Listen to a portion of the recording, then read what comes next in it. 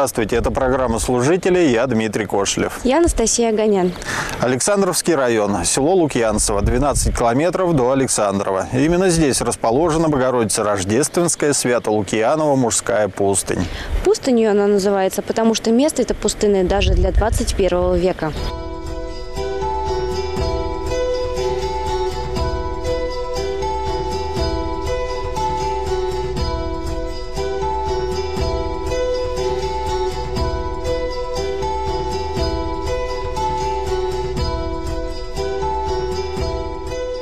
Монастырем нас взялся познакомить послушник Игорь. Когда-то он жил в Москве, работал юристом в крупной компании. А не так давно пришел к Богу и решил посвятить жизнь служению. Местом спасения от мирских соблазнов Игорь выбрал Лукьянову пустынь.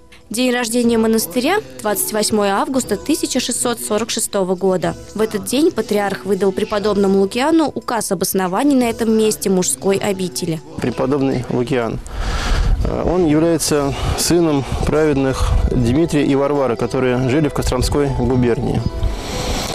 У них долгое время не было детей, и они в свое время дали обед Господу Богу о том, что если у них родится сын, они готовы будут принять иноческий постриг. Молитвы супругов были услышаны, и вскоре у них родился сын. Когда мальчику исполнилось 8 лет, его отец, праведный Дмитрий, решил стать отшельником. Сын ушел в пустынь вместе с отцом – так будущий преподобный встал на иноческий путь. Преподобный Лукиан принял иноческий постриг. В миру звали Иларион, он принял постриг с именем Лукиан. Э, его послушание было здесь связано, связано с восстановлением обители. На этом месте трижды являлась чудотворная икона Рождества Престой Богородицы на воздухе. Она была замечена Список иконы в настоящее время хранится э, в Богоявленском храме. В годы безбожия Богоявленский храм, как и многие другие, был разрушен, но сейчас вновь действует. А вот храм Рождества Пресвятой Богородицы до сих пор находится в запустении. Вот как вы видите, на северных и южных сторонах внутри храма сохранились э, фрески икон. Ну, я думаю, это 17-18. 17-18 века. Стены выполнены, построены из прочного строительного материала, состав которого, насколько нам известно, добавлялись такие компоненты, как яйца, мука. Вот, и порой, когда мы проводим даже работы по реконструкции, очень сложно совершить надлом или совершить вот какие-то работы по э, реконструкции. Вот в этой части храма расположен выход на колокольню, но э, ширина у него не очень позволяет попасть туда, поскольку он очень узкий. Я даже не представляю, как по нему можно было в то время подняться на колокольню. Богородица Рождественский собор поражает объемами, имеет просторную галерею по всему периметру. Братья надеются с Божьей помощью в ближайшее время его восстановить. Перед Богоявленским храмом расположена часовня преподобного Лукьяна, которая была построена жителями в XVIII веке. Но в 1926 году она полностью разрушена большевиками. Э, в недавнем времени, в 1991 году, на этом месте были произведены раскопки археологами и были найдены мощи преподобного Лукьяна и обретена честная глава. Мощи в настоящее время хранятся в Раке, в Богоявленском храме, а от часовни осталась только крыша. В Богоявленском храме между двумя пределами находятся нетленные мощи святого. Братья ежедневно совершают молебны преподобному Лукиану. Но мощи не единственная местная святыня. С правой стороны Богоявленского предела находится та самая знаменитая икона Рождества Пресвятой Богородицы. По список. список иконы, по явлению которой на том месте, где она была явлено, был построен храм, в котором мы были ранее с вами. Этот список иконы сохранился чудом, она претерпела много пожаров, чудом была сохранена. Бытует мнение о том, что она была написана в 17 веке еще. Икона сохранилась, а вот некоторые строения пустыни утеряны безвозвратно. Например, один из братских корпусов. Он находился в северной части обители. Разрушена надвратная часовня. Ограду вокруг монастыря когда-то украшали семь башен. Сейчас осталось только четыре. Это вот был у нас игуменский корпус. А надстройка этого белого кирпича тоже уже в советское время, когда здесь была э, больница. Какая? Ну, дом, назывался дом для престарелых инвалидов. Терпимости. Но на самом деле это как бы дом, ну, психиатрическая больница была. Вот, это вот исторический братский корпус. Здесь тоже была, э, ну, там палаты были, врачебный корпус. От былых времен на территории монастыря остался пруд. Неграфский, монашеский. Пруд этот вообще это э, такой э, резервуар, скажем, емкость для сбора воды. Это не в том смысле пруд, Ну, там чтобы ключей там нет. территории стекала Да. талая вода. Вот. Но исторически в описании там сказано, что пруд, э, там был садок для рыбы. Братья питалась. Все-таки рыбка здесь была. Вот. Но у нас еще не хватает сил и средств заняться его очисткой, его строением. Но зато у нас там есть живность. У нас две уточки и селези там живут. Они домашние или дикие? Они дикие, но мы их на зиму определяем на скотный двор, чтобы они здесь не замерзли. А, то есть они уже привыкли к вам? Сами даже туда? Да, да, да, да, Не да. боятся? Пруд – это так, для души. Организовал игумен маленький, но собственный скотный двор. Всего семь коров, зато молоко насельники пьют исключительно свое, экологически чистое. Если есть молоко, стало быть, у них должны быть и телята. Есть. У нас сейчас, значит, э, в этом году вот телочка родилась. Мы ее назвали Веснушка. Вот. И два бычка. Весной, потому что родилась. Ну да, в начале весны. А одного бычка назвали Кекс, а другого назвали Праздник. Ну так, чтобы немножко, э, когда все повторяется, ну, неинтересно. Ну да. Братья придумывают всякий раз интересно. Но вот здесь у нас такой мы попробовали разбить плодопитомник. Разные у нас будут, э, скажем так, ну, смородина, там и другие такие культуры. А что значит плодопитомник? То есть вы будете собирать ягоды? Нет, Или- это мы, э, значит, э, высаживаем, э, вырастили вот рассаду, да, скажем так, и уже немножко продаем. Люди уже, у нас, ну, на сайте есть информация. Так мы как бы объявление даем. И вот в этом году уже люди приезжают, ну так, решили таким... Всегда в монастырях было какое-то делание. Скажем так, выживать приходится своими трудами. Особо сейчас рассчитывать на какую-то помощь ну, не приходится. Поэтому думали, думали, там, чем заняться. Но вроде животноводством тоже это надо огромные силы, затраты. И, и люди, которые бы знали и могли бы как бы э, трудиться на этом поприще. Ну, пасеки, да, рыбная ловля. Рыбной ловли у нас нет.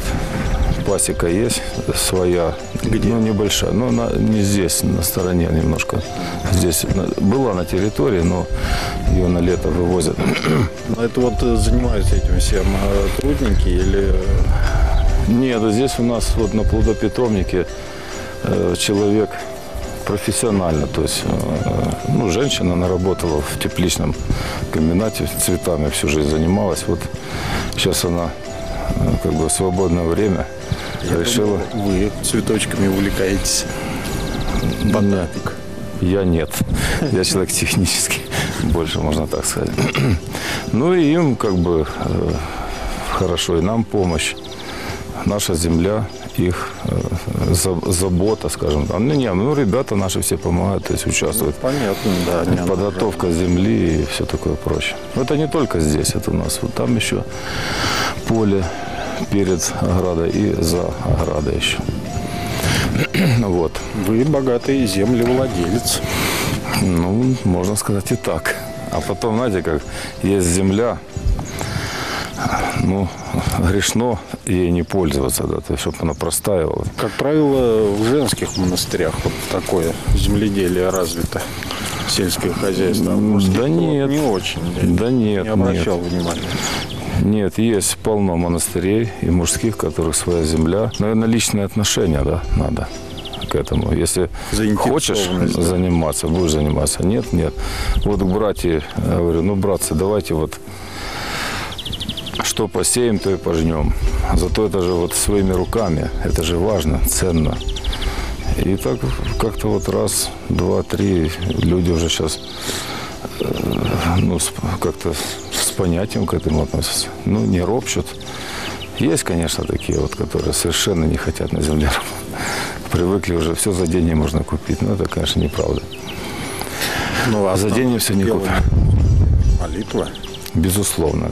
Молитва, э, вообще центр э, жизни, вот наш, это, конечно, в храме. У нас день начинается с молитвы, молитва сопровождается и молитвой заканчивается. Вот. И э, труды – это, скажем так, не главное, такие вот физические. Прежде всего, конечно, молитва и духовное делание. Я вот как бы считал по времени, у нас, знаете, вот оно все как-то так э, равноценно. И труд, и молитва. Вот все в меру. И, и не сказать, что у нас там даже и не 8 часов, скажем так, э, трудовой день. Почему? Потому что есть храмовая молитва общественная, вот, где братья собираются вместе. Но есть еще и келейная молитва. Это тоже важно и ценно. Чем, может быть, вот монастырь отличается от прихода? То, что монашествующие, они все-таки, вот эта ну, молитва, она ве- везде впереди. Все, говорят, э, молитва в устах, а э, как бы, э, делание в руках, да, труд. Ну, так ведь э, не каждый человек способен подняться в 5 утра, идти. Ну, поэтому мы, как бы у нас это все на добровольной основе. Приходит человек, просится в монастырь, мы ему объявляем, вот у нас такие условия, такой распорядок. Вот, если поживи, попробуй. Если тебе это подойдет, если ты это выдержишь, вот, и тебе э, ну, по- посчитаешь нужным и полезным, пожалуйста, оставайся. Если нет, ну, тогда мы как бы мирно сошлись, мирно разойдемся. Действительно, не каждый же человек может понести этот труд.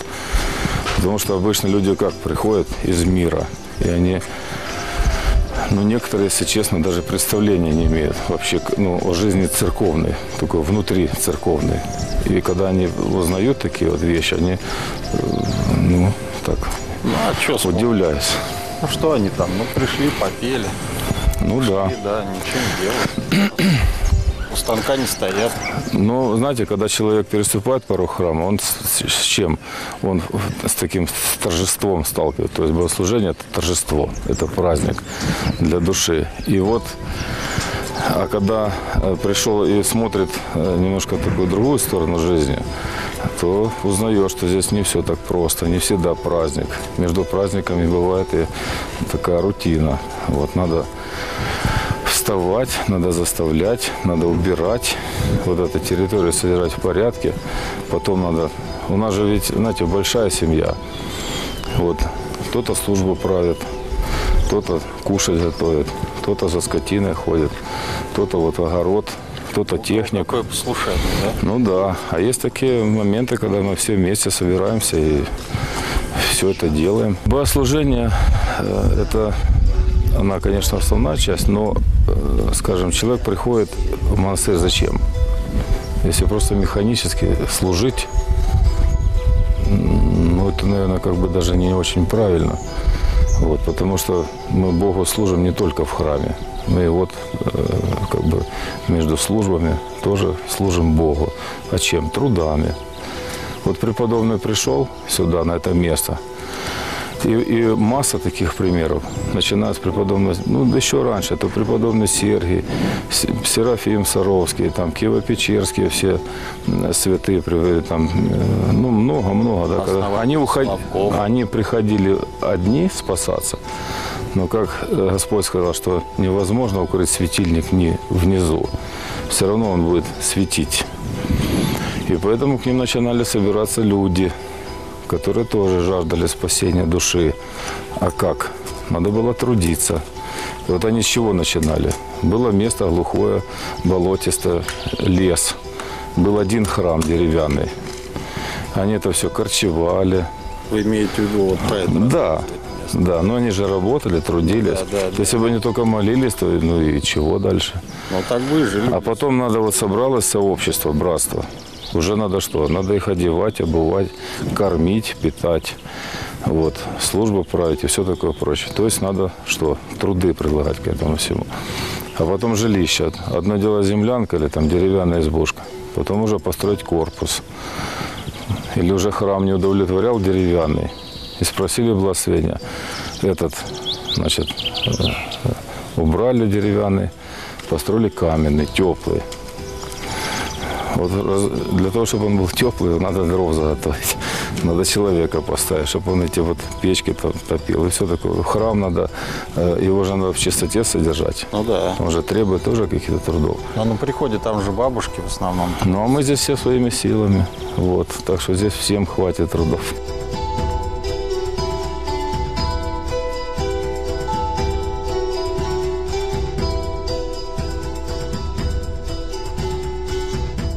Не зря святые отцы выбирали для спасения пустынные места, такие как Свято-Лукьянова мужская пустыня. Хорошо здесь, Настя, да? Хорошо. Новый рассказ о жителях на следующей неделе в тот же день и в то же время. До свидания. До новых встреч в эфире. Thank